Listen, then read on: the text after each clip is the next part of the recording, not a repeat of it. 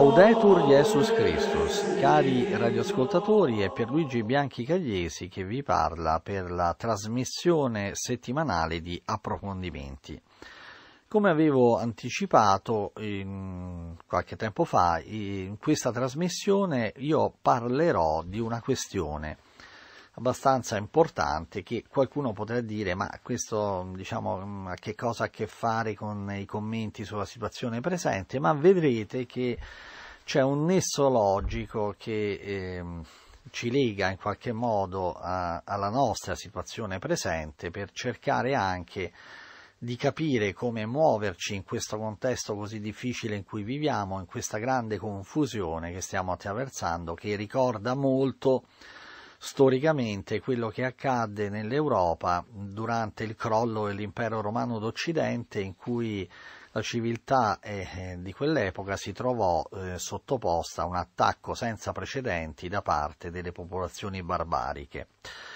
E, mh, molti di voi avranno sentito parlare di quella che è stata chiamata da un autore americano l'opzione Benedetto. Che cos'è questa opzione Benedetto? È praticamente una considerazione e anche una riflessione che stanno facendo molti ambienti cattolici tradizionali su quelle che possono essere eh, le prospettive e le alternative in un momento in cui eh, non soltanto eh, la dottrina cattolica viene frantumata e ehm, la stessa comunità cristiana vive un momento difficilissimo, ma c'è un tentativo di isolamento, un tentativo di, così, di confusione, di disperazione da parte di tante persone in cui bisogna ritrovare motivi di eh, aggregazione e anche motivi per poter iniziare un'opera seria di ricostruzione. di fronte al crollo dell'impero romano nel secolo VI, San Benedetto non si limitò a ritirarsi dal mondo, ma le comunità monastiche fondate da lui e dai suoi successori divennero dei luoghi di pace, di pietà, di erudizione, proprio a partire dai quali la civilizzazione europea poté gradualmente riemergere. Quindi l'idea di questa opzione benedetto, che è un punto di partenza per una riflessione, ehm, ci aiuta in qualche modo a, costruire le forme locali, in qualche modo di una comunità di una modalità nuova di riunirsi, di riaggregarsi tra i cattolici fedeli all'interno di cui cominciare a rimettere ordine e ricostruire gli elementi fondamentali della civiltà e della vita intellettuale, morale e spirituale, per conservarle soprattutto nei grandi e difficili momenti che stiamo attraversando. Ma per capire un attimino di più, credo che sia utile tornare a capire che cosa è stata e cosa fu la grande provvidenziale azione di San Benedetto in un momento storico difficilissimo. Voi sapete che l'azione di San Benedetto partì proprio dalla edificazione di questi monasteri, i cenobi,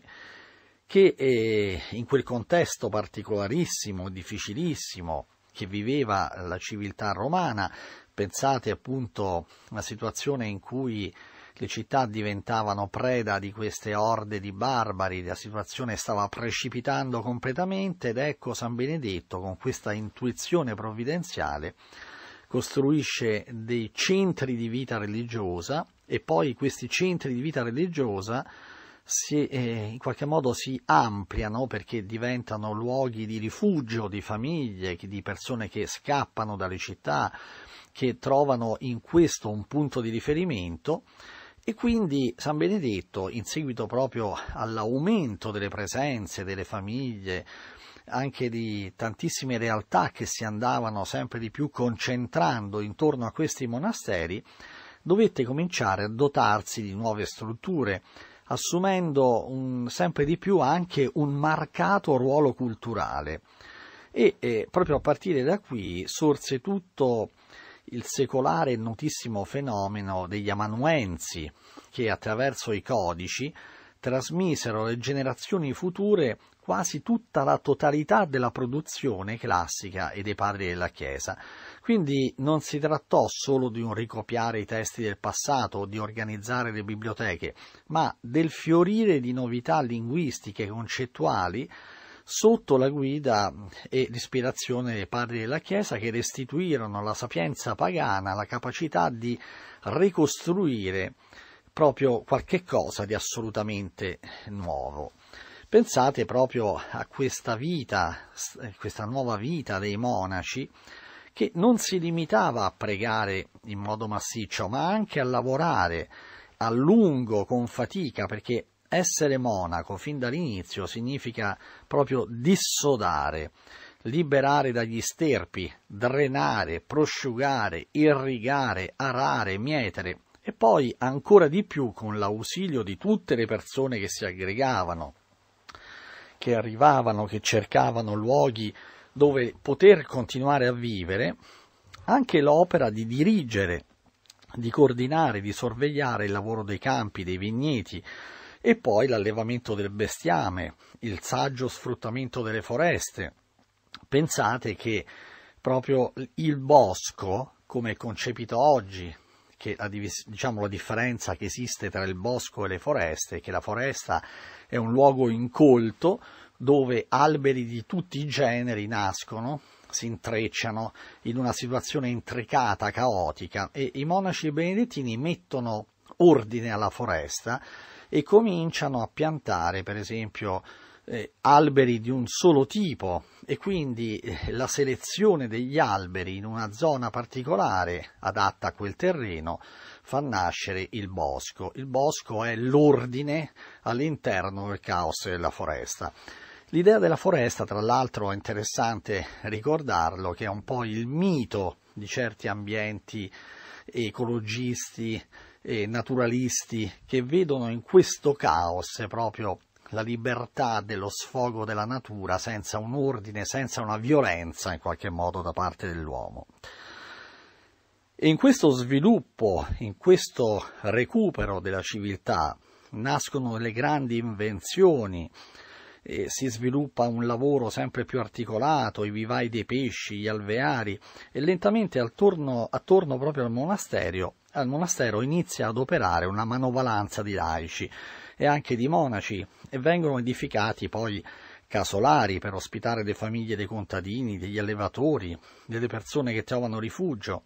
Quindi vengono divelti gli altari dedicati alle divinità pagane e sostituiti con edifici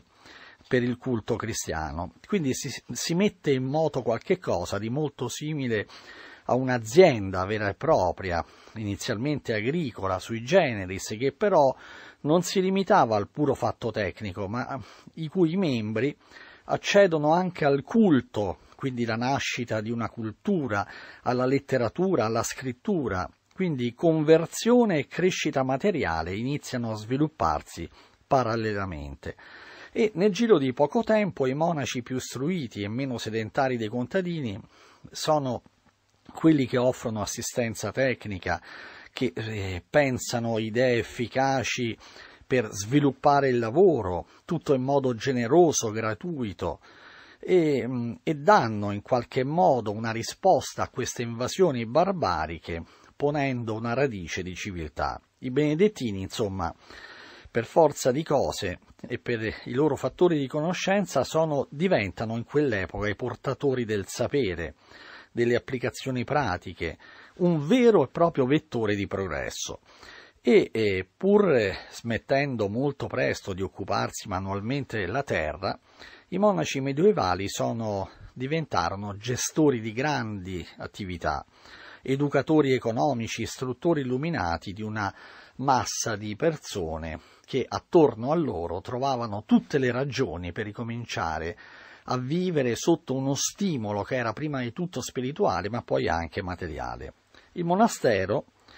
deve, nei limiti del possibile, essere organizzato in modo tale che vi si trovi tutto il necessario, cioè dell'acqua,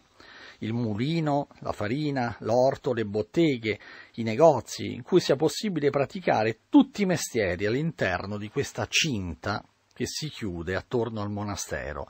una cinta fortificata in cui il centro, il motore, il propulsore della vita spirituale è la Chiesa, con il monastero, il luogo, il cenobio dove vivono i monaci.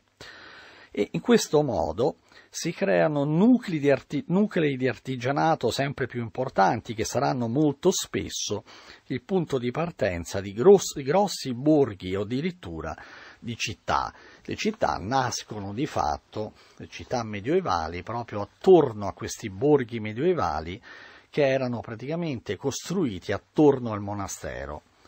Quindi non è difficile da qui capire come eh, questo spirito benedettino profondamente cristiano abbia costituito il propulsore di una civilizzazione e come la civiltà sia sorta proprio dalla pratica di un cristianesimo che ha saputo incardinarsi in ogni ambito della società del tempo. Quindi il monaco è chiamato a diventare un uomo di preghiera e ad essa non deve anteporre nulla, e nulla si anteponga all'opera di Dio, scriveva San Benedetto. La santificazione per mezzo della preghiera è dunque l'occupazione principale del cenobio. È un'attività che si estende per molte ore nell'arco del giorno. Non c'è nulla nella vita proposta da San Benedetto di rilassato, di mondano, perché il compimento dell'opera di Dio richiede un grande impegno e la decisa volontà di perseguire una conversione a Dio, che possa portare alla penitenza, all'abbandono dei vizi e dei peccati. E quindi è proprio in questa luce che è possibile interpretare al meglio la scelta successiva, che è quella di dedicarsi alle attività tecniche, manuali, culturali, alle invenzioni, perché vedete che il monaco in fondo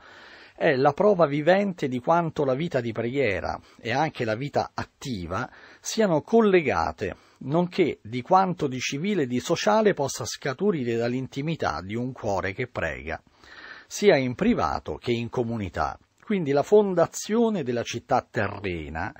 non può prescindere dalla fondazione della città di Dio, perché è evidente che c'è un movimento spirituale che dalla comunità entra nella singola persona, nel medesimo tempo dal cuore dell'uomo si irradia nella moltitudine. E se questi due respiri dell'anima e delle anime sono in Dio, l'uomo si salva e costruisce la propria dimora nel tempo prima e poi nell'eternità.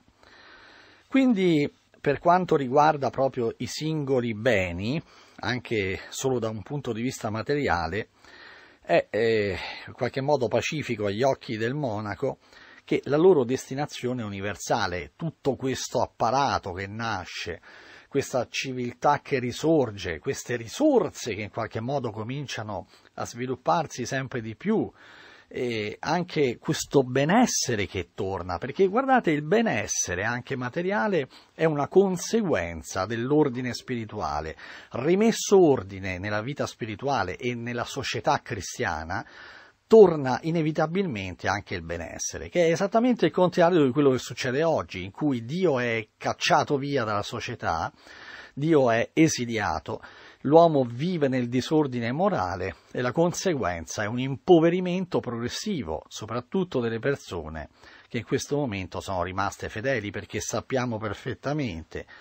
che tutte le risorse economiche oggi si concentrano nelle mani di coloro che sono avversi a Dio, mentre coloro che sono con Dio oggi vivono una stagione di grande infelicità materiale, ma che è un bene spirituale che ci prepara proprio a qualche cosa che sta profondamente iniziando a cambiare. E quindi offriamo queste sofferenze, offriamo queste difficoltà, sapendo quindi che eh, c'è una ragione profonda, c'è una spiegazione che motiva le, le ragioni di questa sofferenza che noi viviamo oggi, però nella consapevolezza che la riedificazione di una civiltà cristiana porta con sé anche tutto un grande benessere che non è un arricchimento selvaggio, ma è una situazione di stabilità, perché il fondamento proprio dell'ordine benedettino è quello della stabilità, di cui adesso toccheremo alcuni aspetti, ma parlavo proprio della destinazione dei beni, che è quella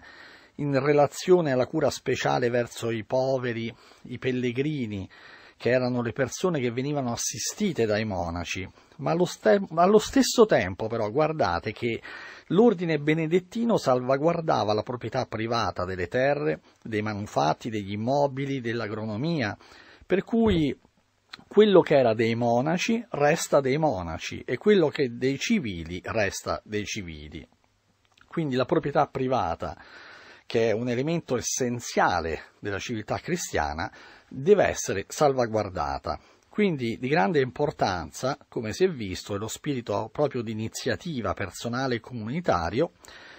che prelude al principio di sussidiarietà. Il principio di sussidiarietà è un principio che noi eh, abbiamo in qualche modo evidenziato in tante occasioni all'interno dei corsi che svolgiamo annualmente sulla dottrina sociale della Chiesa. E quindi, in base a questo principio di sussidiarietà, tutte le società di ordine superiore,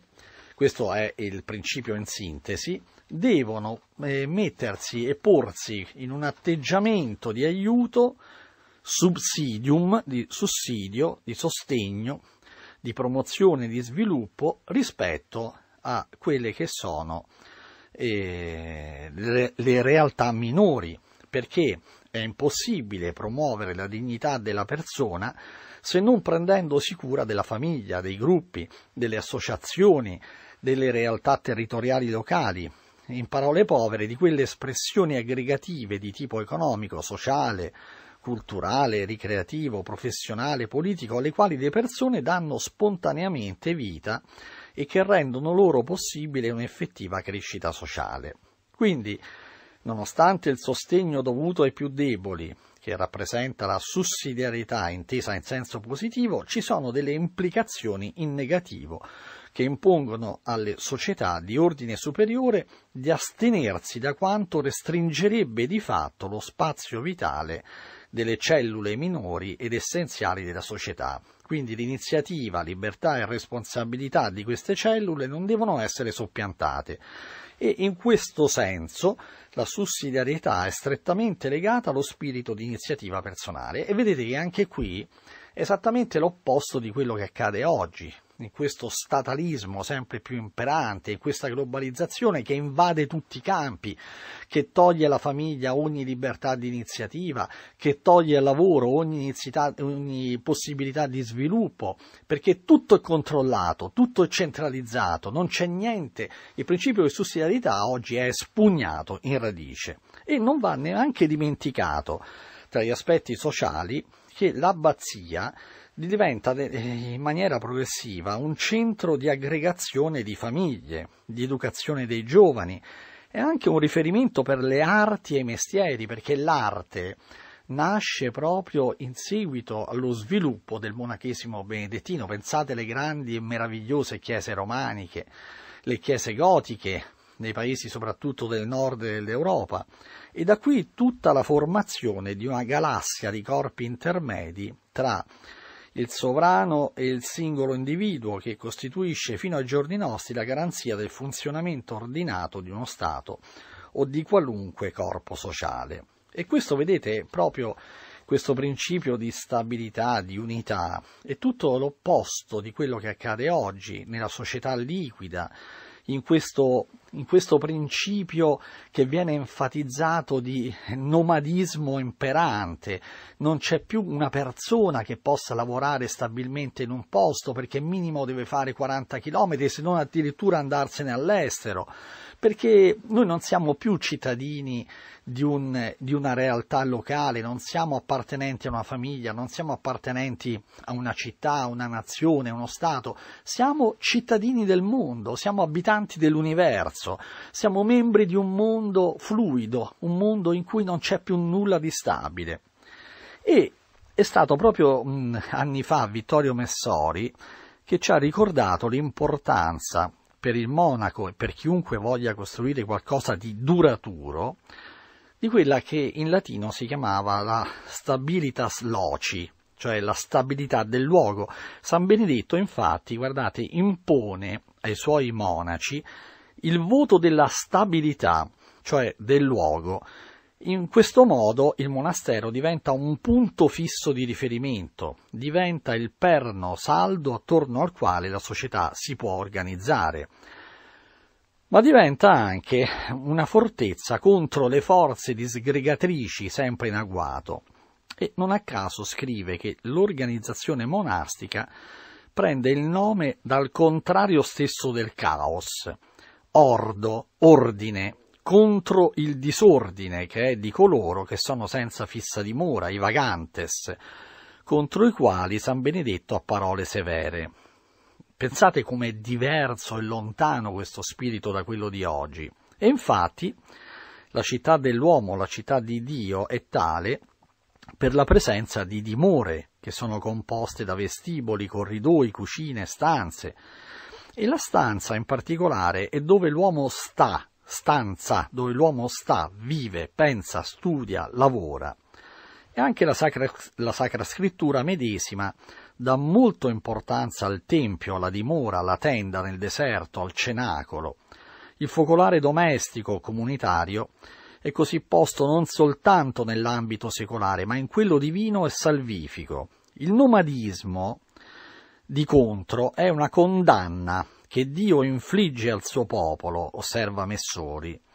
Persino Gesù è costretto a dire che le volpi hanno le loro tane, gli uccelli del cielo i loro nidi, ma il figlio dell'uomo non ha dove posare il capo. Quando San Benedetto salì a Cassino, insomma, non ci andò per passarci, per passarci, ma ci andò per rimanerci. E, e, dice San Gregorio Magno che il paese di Cassino è situato sul fianco di un alto monte e c'era in cima un antichissimo tempio, dove la gente dei campi, secondo gli usi degli antichi pagani, compiva superstiziosi riti in onore di Apollo, e intorno ci crescevano boschetti che erano sacri ai demoni, dove ancora in quel tempo c'era una fanatica fos- una folla di infedeli che vi apprestava sacrileghi sacrifici, quindi, dopo aver distrutto gli idoli e aver edificato una chiesa, San Benedetto si rivolse alla gente che abitava lì intorno e con un'assidua predicazione andava invitando la gente alla fede e alla conversione. Come siamo lontani dallo spirito di oggi. Ma vedete che in quella, stabili, in quella stabilitas loci, in quella stabilità, si edificarono nel corso della vita le virtù del sacrificio e della perseveranza perché eh, si era in qualche modo costretti a vivere insieme ad altre persone, quindi a sopportarne i limiti, i difetti. Si riceve molto dalla comunità monastica, che è un supporto, un'edificazione, una cura, ma è richiesta anche la rinuncia alla propria volontà, al proprio desiderio di autosufficienza, perché lì, in quel contesto, viene temprato il carattere, si forma l'umiltà, se non altro perché è richiesta l'obbedienza all'abate. La, sta- la stabilità è talmente importante per il monaco che non è bene accettare nel monastero quei postulanti che non diano sicure prove di voler perseverare. E in questo senso la stabilità è una delle tre promesse del postulante, assieme alla conversione continua e all'obbedienza. Bene, cari radioascoltatori, credo che questa riflessione sullo spirito benedettino, che fu all'origine proprio della nascita della civiltà cristiana medievale, viene in qualche modo richiamata in alcuni passi molto interessanti delle opere e delle prediche di Benedetto XVI, che era un grande cultore di questo santo, San Benedetto, e che oggi vengono raccolte per la prima volta in un libro molto interessante che fra pochi che esce proprio in questi giorni nelle librerie e si intitola Per amore, un libro scritto da Benedetto XVI e che è praticamente il riassunto di tante prediche del tempo liturgico, quelle dell'Avvento, quelle della Quaresima, della Pasqua e del Natale. Un libro di 192 pagine, costa 10, 17 euro in, messo in vendita dal 2 maggio, edito dalla Libreria Editrice Vaticana e Cantagalli, quindi Benedetto XVI, Per amore, libro che raccoglie queste prediche molto interessanti. Dicevo che eh, nelle riflessioni fatte da Benedetto XVI ci sono continui richiami a questo spirito benedettino. Cito questo perché c'è qualche cosa di profetico, direi, e di assolutamente significativo con cui, e questa è una mia intuizione o dire, potrei dire impressione personale, Benedetto XVI voleva delineare una strada, un tracciato, un percorso che, eh, verso cui i cristiani rimasti fedeli in quest'epoca di turbolenze e di confusione si sarebbero dovuti incamminare. E in questo capite che c'erano tanti, tanti richiami che Benedetto XVI faceva alla terra, al lavoro, alla giusta concezione del creato, alla edificazione di una civiltà cristiana nello spirito di San Benedetto. E ve ne cito solo qualcuna estrapolata da questo libro, che vi ripeto è un libro interessante che vi invito a leggere per amore di Benedetto XVI, in cui dice che Benedetto XVI tutte le invenzioni tecniche possono essere o benedizione o maledizione per l'umanità e oggi vediamo sempre più questa ambiguità della tecnologia moderna. La tecnica in sé dice Benedetto XVI, pensate proprio all'opera dei Benedettini, no? in quell'epoca straordinaria. La tecnica è così, è così qualche cosa che può essere buono o cattivo, come buono o cattivo l'uomo stesso. Dove l'uomo perde se stesso, la dominazione della terra diventa distruzione della terra. Dove l'uomo perde se stesso, la sua capacità tecnica diventa una minaccia diretta contro la sopravvivenza del genere umano l'uomo perde se stesso quando dimentica il suo creatore Dio. Dimenticando Dio non sa più decifrare il messaggio della sua natura, dimentica la sua misura e diventa per se stesso un enigma senza risposta. Quando dimentichiamo Dio le cose diventano mute, sono solo materiale per fare qualcosa, ma senza un perché, vuote di ogni significato più profondo. Se ritorniamo a Dio, le cose cominciano a parlare. La scrittura ci dà due immagini di una vera dominazione della terra, il giardino e la città santa. Il giardino esprime un'amicizia reciproca tra terra e uomo, l'armonia della creatura. Dove l'uomo è retto, la terra dà il suo frutto, la terra diventa giardino e patria. Quindi il lavoro per il pane naturale, dice Benedetto XVI, prepara anche il pane soprannaturale e si estende così anche alla preparazione della vita eterna. Il nostro lavoro e la bontà di Dio si incontrano nel dono della terra, nel pane e nel vino. Il nostro lavoro diventa Eucaristia, la bontà di Dio crea pane dal nostro lavoro e la stessa bontà trasforma, rispondendo alla nostra preghiera, il pane terrestre il nutrimento di vita eterna lo converte in corpo di Cristo. E così vediamo il valore del lavoro e della preghiera. Andando insieme creiamo una nuova terra. Vedete che si configura l'idea proprio del messaggio di San Benedetto, quell'ora et labora, il valore del lavoro e della preghiera insieme al lavoro della terra. Andando insieme creiamo una nuova terra, il nostro lavoro prepara la presenza di Cristo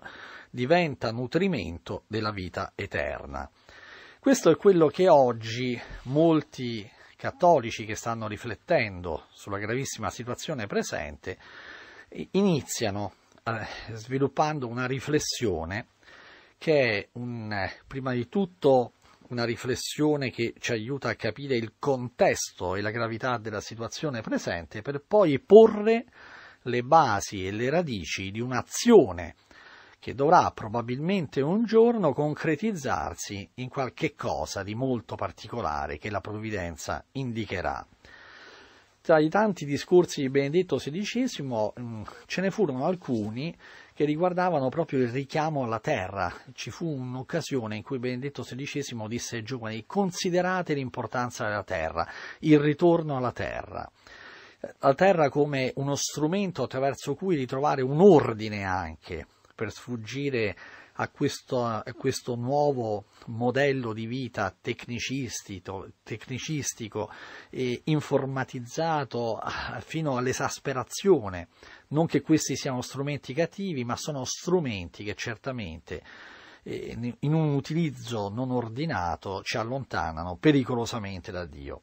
E quindi questo richiamo, direi quasi profetico, ci ricorda quella che oggi, dicevo all'inizio della nostra trasmissione, viene definita come questa opzione benedetto. Un'opzione benedetto, ricordo ancora, che è una riflessione che nasce dalle difficoltà presenti dall'azione di San Benedetto di fronte al crollo dell'impero romano, in cui eh, rinacque in quelle modalità in quel contesto proprio la civiltà cristiana. Questa è la riflessione che sottopongo, eh, cari radioascoltatori, alla vostra attenzione, nella certezza che è proprio dalla consapevolezza, dalla riscoperta di una consapevolezza, di una, eh, di una profondità che dobbiamo ritrovare anche nelle modalità della nostra vita, che è prima di tutto una vita spirituale, ma che poi si traduce in un'azione concreta, che eh, possiamo iniziare a immaginare un percorso per ricostruire una civiltà cristiana sotto naturalmente l'impulso di Dio, sotto eh, l'aiuto dello Spirito Santo, ma soprattutto sotto la guida di colei che sarà la debellatrice di questo caos in cui viviamo